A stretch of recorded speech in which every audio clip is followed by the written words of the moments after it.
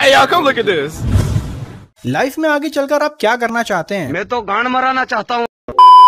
हुए थे भाई अगर आप यूट्यूब पे ना होते तो आपका प्लान भी क्या होता? टपा टप टपा टप टपा टप